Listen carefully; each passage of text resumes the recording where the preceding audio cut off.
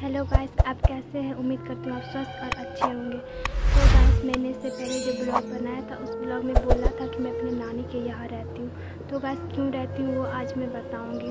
तो गैस मैं अपने नानी के यहाँ इसलिए रहती हूँ क्योंकि मेरा अपना घर नहीं है। हाँ गैस मेरा अपना घर नहीं है और मेरे पापा मजदूरी के काम करते हैं, वो उड़ीसा में रहते हैं और वे बहुत ज़्यादा ड्रिंक करते हैं, यानी कि बहुत ज़्यादा शराब पीते हैं, जिसकी वजह से वे चार पाँच महीने हो जाते हैं, उसके बाद तीन हज़ार या फिर दो हज़ार रुपया भेजते या फिर नहीं भी भेजते, उनके मन पे होता है। जिस वजह से मेरे भैया को बीच में ही पढ़ाई छोड़ना पड़ा और काम करना पड़ा, वे मजदूरी के काम करते हैं, जिससे हमारा घर खर्चा चलता और मेरी पढ़ाई भी बड़ी मुश्किल से चलती है, उसी में निकलती है मेरी पढ़ाई भी।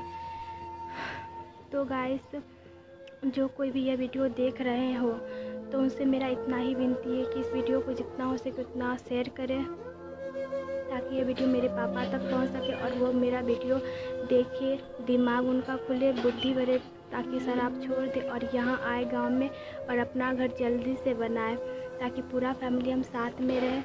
मेरा बस इतना ही सपना है और भगवान से बिंदी करती भगवान मेरा सपना जल्द ही पूरा हो, सबका एक दिन अच्छा दिन आता है। तो मेरा भी भगवान पे बहुत ज़्यादा विश्वास है, हमारा भी एक दिन अच्छा दिन आएगा, हम भी सुख में रहेंगे, अपने घर में रहेंगे।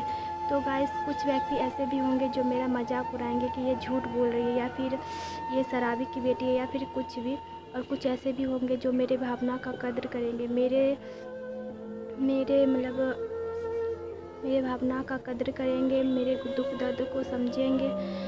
तो गाइस ये वीडियो सच है, मैं झूठ नहीं बोल ये सभी बातें सच है। तो गाइस अगर आपको वीडियो का अच्छा लगा हो तो कमेंट ज़रूर कीजिएगा। और जितना हो, सके वीडियो को वायरल कीजिएगा, ताकि मेरे पापा तक ये वीडियो पहुँच सके। तो दोस्तों, मिलते हैं नेक्स्ट ब्लॉग में। बाय